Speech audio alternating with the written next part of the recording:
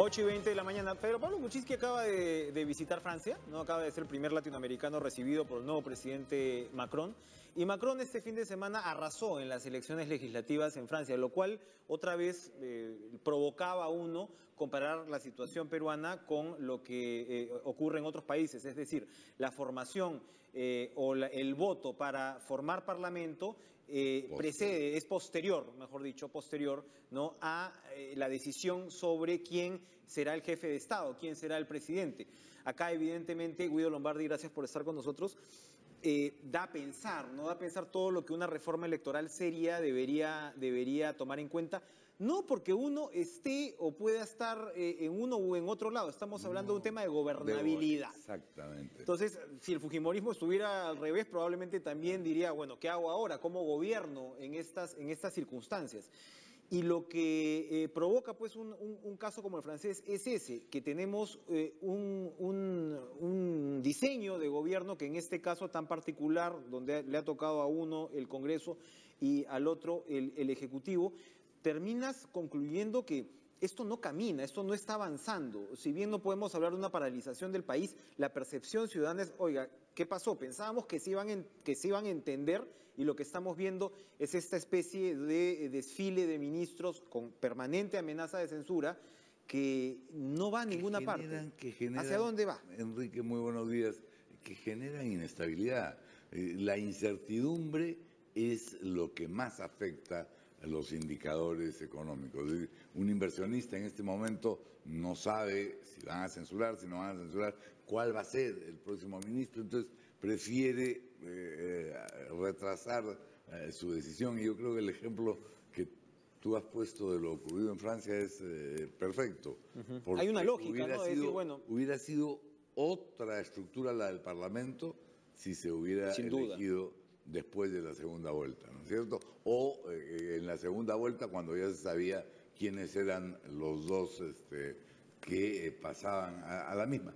Pero en fin, no hablemos de, de utopías porque es evidente que la mayoría del Congreso no quiere la reforma electoral. Lo que ha sucedido con Patricia Donaire es una muestra de ella. No vamos a, a modernizarnos en eh, el proceso electoral y en las reformas que podrían ya aplicarse en las elecciones del próximo Esa- año ajá. para las regionales y municipales. Esas son las reformas que le toca al Congreso y el Congreso responderá por sus actos y por sus omisiones y yo creo que la prensa, digamos, objetiva, independiente, nos vamos a tener que encargar de recordarlo.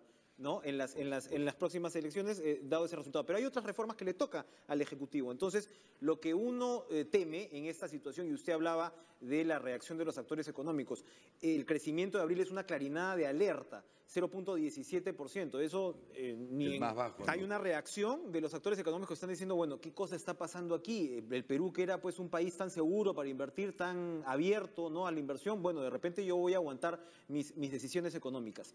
Lo que comentaba yo antes de la pausa, el gobierno debe ahora golpear, conciliar con el Fujimorismo si es que esto es posible, o dejar que el statu quo que hemos eh, venido viendo este año continúe. ¿Cuál es su opinión? No, yo soy, eh, digamos, de los duros. Eh, Yo creo que la conciliación con el Fujimorismo se ha demostrado imposible. Eh, Mercedes Arauz ha invitado a, a Keiko Fujimori a dialogar y ella se ha negado a responder al, al respecto. No hay en este momento, eh, pese al impacto tremendo que tuvo el niño costero y a la movilización nacional que eso supuso, no hay eh, un clima adecuado para dialogar. Y hemos escuchado a los principales voceros del Fujimorismo el día eh, jueves este, y el viernes en la presentación eh, del ministro Torne en una actitud realmente agresiva, innecesariamente agresiva, diría yo. ¿Van a censurar o no a Torne? No lo puedo adivinar, pero tenemos reunión de bancada hoy eh, con algunas autoridades del Ejecutivo y allí, eh, en fin, cada quien sostendrá su punto de vista. Yo creo que el país requiere eh, de una señal de fortaleza por parte del Ejecutivo, una señal de firmeza y de decir, perdonen, aquí nosotros hemos sido elegidos para gobernar, ustedes para fiscalizar, hagan toda la fiscalización que quieran, pero déjenos gobernar. ¿Esa señal de firmeza se traduciría entonces eh, desde su punto de vista en la cuestión de confianza? Yo creo que es algo que debió hacerse hasta... Eh, en el caso de Saavedra, de repente. En el caso de Saavedra y estaríamos en otro escenario, ¿no es cierto? Porque si se hubiera hecho cuestión de confianza con Saavedra, esta sería la segunda. Hay que recordar que la Constitución exige la censura de dos gabinetes para poder eh, disolver el Congreso y convocar de inmediato a nuevas elecciones. Desde esa perspectiva hay una suerte de paradoja, ¿no? Porque la crítica que le hace el Fujimorismo en buena medida al presidente Kuczynski es el tema de la falta de autoridad, ¿no? O la falta de liderazgo. Bueno, pareciera, desde ese punto de vista, que están pidiendo efectivamente que Kuczynski vaya a reaccionar con una muestra de autoridad, porque finalmente... Guido, somos un sistema presidencialista. Entonces, nuestro debate político en los últimos meses está muy centrado en la figura de Keiko Fujimori, el poder del Fujimorismo, el gobierno en las sombras, como dice Mercedes Arauz, eh, pero al fin y al cabo la Constitución está diseñada para que el gobierno lo lleve el Ejecutivo, por más, por más oposición que tenga que haber en el, Congreso. Sobre todo si desde la oposición no se ofrecen, Enrique, eh, fórmulas alternativas. Es decir, al proceso, usted acaba de estar eh, conversando con Pablo de la Flor, al proceso de reconstrucción con cambios, es decir, de reconstrucción sin corrupción la oposición podría decir nosotros queremos eh, una reconstrucción. No hay alternativas, ni en seguridad ciudadana, ni en el manejo económico, ni en el proceso de reconstrucción. Entonces, el Keiko dijo que iba a llevar a cabo su plan de gobierno eh, a partir de la decisión parlamentaria y esto tampoco se ha visto. Tampoco se ha visto. Y, y como decía una periodista la semana pasada, es la sombrita, está en la sombra, no sabemos qué quiere, no sabemos cuáles son los temas que orientan su vocación por dirigir el país, entonces es realmente un misterio. Yo sí creo... Yo lo he repetido varias veces, debería haber, eh, con, una, con un congreso con estas capacidades, deberías tener un gabinete en la sombra, deberías tener un debate de políticas alternativas muy claro, ¿no?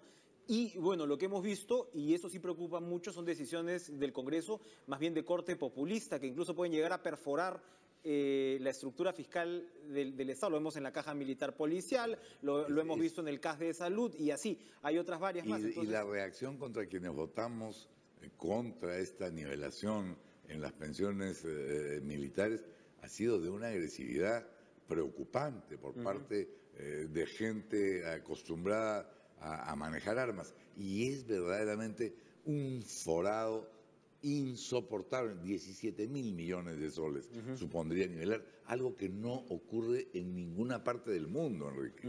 En ninguna. Es cierto que hay una brecha demasiado grande entre lo que gana el personal en actividad y lo que gana el personal en retiro, sobre todo quienes se retiraron antes del 2012. Eh, Pero frente a eso, el gobierno ha hecho llegar una propuesta muy razonable de nivelar por tramos que fue la oferta electoral del presidente Kuczynski, hasta el 25% por año, hasta el 2020, en donde se logra una liberación sin causar el impacto. Porque la caja la tienes que cuadrar, no es, no es solamente, no, es, no. es solamente el tema de las pensiones militares policiales los que está en juego, ¿no? Pues, evidentemente. hay miles de... ¿Satisfizo, ¿Satisfizo la presentación de Torne en el Congreso? Bueno, por supuesto me va a decir que sí, porque es parte del, oficialismo, pero ¿cómo lo vio?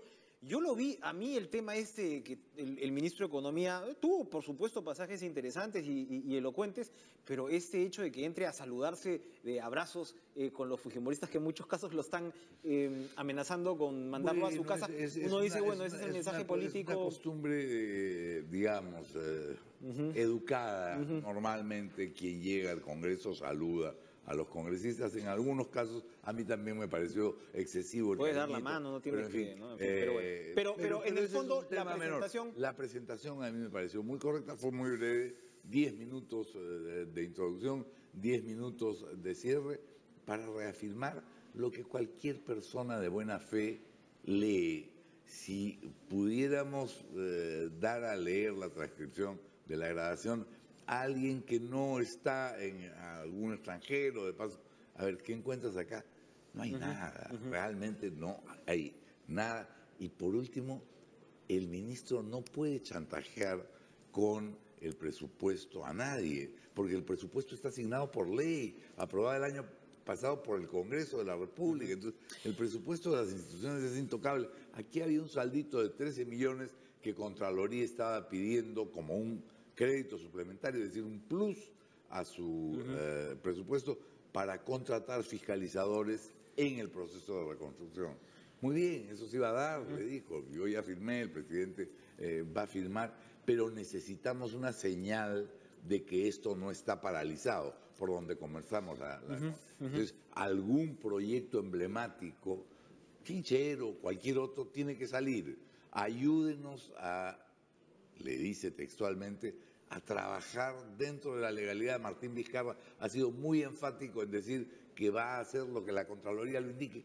¿Cuál es allí la falta grave o el delito por el cual Alfredo Torne merece ser censurado, yo no lo veo. Puede, podemos estar yendo hacia una suerte de trípode en el cual el destino de Torne es negociado también con lo que vaya a pasar con el Contralor Alarcón, que para muchos es, es o sea, el señor Alarcón ya debería estar en su casa, pero bueno, eh, eh, el hecho es que esta, esta, esto está, esta pelota está en la cancha del, Congreso y, por supuesto, Carlos Basombrío, que el miércoles asiste a ser interpelado, porque entramos siempre a estos escenarios, ¿no? De, bueno, ya, te salvo este, ¿no? Y, y, entonces uno, uno diría que en una situación como esta, de repente el Fujimorismo está diciendo, bueno, mira, se va a Torne a su casa, salvamos a, a Basombrío, Mauricio Mulder dice que de ninguna manera van a censurar a Basombrío, por algo Mauricio estará hablando, debes tener, ¿no?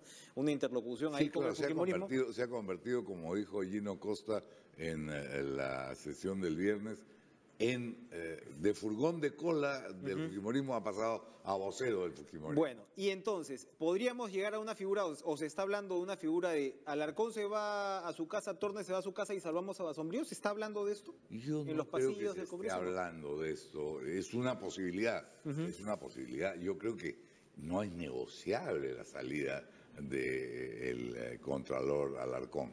Se tiene que ir se tiene que ir, censuren o no censuren a Tornes, censuren o no censuren a Sombrío.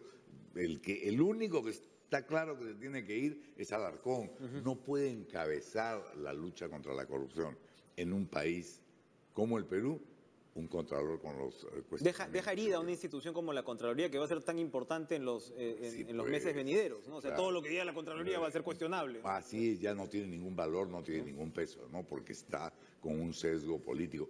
Un hombre que es capaz de asistir a la invitación de un ministro a su solicitud con una grabadora es francamente. ¿Y por qué si esa conversación que le pareció tan ofensiva, este, y él no grabó, pero sí era testigo con su secretario general, no denunció inmediatamente al salir del Ministerio de Economía. Hoy acabo de reunirme con el ministro que me está chantajeando. No dijo una palabra hasta que salió esta... Y el caso, el caso pues de Torne, o sea, salió Saavedra, que si bien venía del gobierno anterior, era un funcionario destacado, sale Vizcarra, Vizcarra sí es un hombre de confianza del presidente de la República, y Torne ni qué se diga, a Torne le encargan la elaboración del plan de gobierno. A uno le puede gustar o no gustar la labor de Torne, en el sentido que se ha discutido mucho lo del IGB, lo, de, lo del gasto fiscal, el ajuste del gasto fiscal, pero es evidente que es una persona que está muy de cerca del presidente de la República. Bueno, para terminar entonces, Julio, usted me dice que si, si fuera por usted, pondría la carta de la cuestión de confianza sobre la mesa. Quienes dicen que no dentro de la bancada oficialista, ¿cuáles son los argumentos para decir, ¿sabe qué? Mejor no saquemos esa carta? En esta circunstancia creo que hay pocos que dicen eh, que no. Eh, quienes eh, son más tibios en el tema están buscando la gobernabilidad, dicen confrontar a esta masa eh, eh, que es abusona, efectivamente. Se horrorizaron cuando el primer ministro dijo están confundiendo control político eh, con abuso. Eso les ha dolido en el alma al Fujimorismo. O sea, los bonos de, Zavala se fueron al piso dentro del Fujimorismo. Lo consideraron casi una mentada. Este, casi, casi cualquier cosa este, los irrita, pues, porque son, son los abusones típicos. Ah, del colegio. este, y entonces hay quienes dicen, no irritemos al abusón, vamos a dejarnos bulear un rato. Eh, pero creo que hoy esa situación ha cambiado y que por lo menos a nivel de la bancada la actitud es muy firme. Es cierto que en el Ejecutivo pueden haber otras consideraciones y eh, veremos eh, lo que ocurre. Guido Lombardi, como siempre, un, gusto recibirlo y siempre muy informativos eh, sus, sus, puntos de vista. Creo que es una semana clave, efectivamente, en la decisión que tome el Ejecutivo. Y claro, de un lado alquilar fino, pero de otro lado la proyección de autoridad creo que se convierte en una urgencia. Eh, es una necesidad. Y eso, y eso es, parte de la lectura política que debería estar en discusión. Gracias, Guido, por estar con nosotros. 8 y 35 de la mañana vamos a irnos a una pausa. Regresamos con mucho más en TV Perú Noticias. No se vayan.